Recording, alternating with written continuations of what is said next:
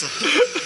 그런 게 없어. 아 그날 뭐였냐면은 뭐야 브이로그 찍는 거야? 어 브이로그 찍는 거야. 지금 어 우리 LOFREAQS 브이, 브이로그 찍, 찍자고 저번 주에 얘기 나와서 저번 주에도 좀 찍었고 저번 주엔 나 없었어. 어.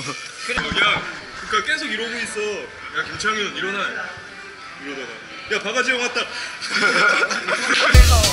불량이구만 불량.